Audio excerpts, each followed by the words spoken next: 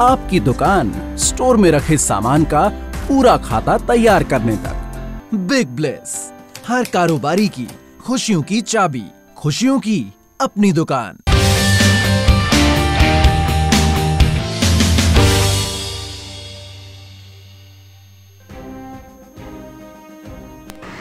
आवश्यक वस्तुओं की महँगाई पर नियंत्रण बनाए रखने को लेकर सरकार लगातार सतर्कता बरत रही है। उपभोक्ताओं को परेशान कर रहे खाद्य तेलों के मूल्य घटाने को लेकर सरकार दबाव बनाए हुए है, जबकि चीनी का भाव आमतौर पर पिछले साल भर से मूल्य स्थिर बना हुआ है।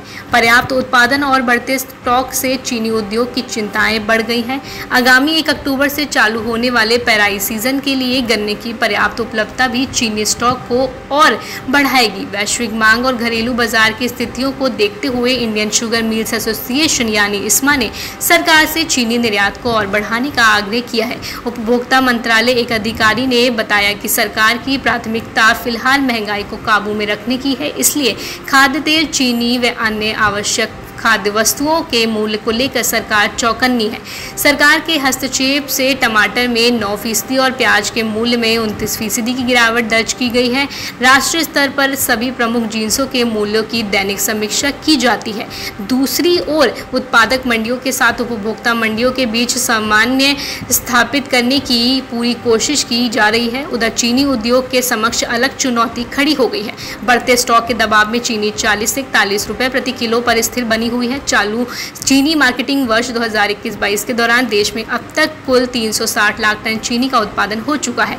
महाराष्ट्र की कुछ मिलों ने, मिलों में अभी भी पैराई जारी है, जबकि ओपनिंग स्टॉक बयासी लाख टन था। फ़िलहाल चीनी का कुल स्टॉक 400 बयालीस लाख टन पहुँच गया है। इसके अलावा चीनी की घरेलू खपत अब तक की सर्वाधिक दो सौ पचहत्तर लाख टन आकी गई है, जो पिछले साल दो सौ पैंसठ लाख टन थी। लगभग 100 लाख टन चीनी का निर्यात भी हो चुका है।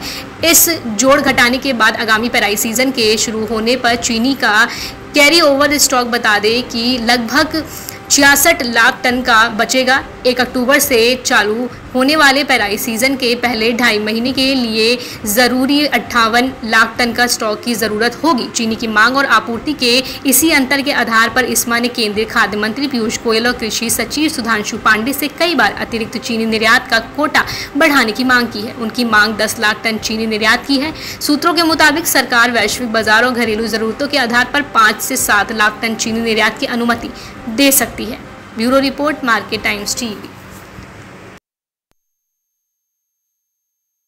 आपके ग्राहक की खुशी से आपकी दुकान पर ग्राहक को लाने तक। बिग ब्लेस हर कारोबारी की खुशियों की चाबी, खुशियों की अपनी दुकान।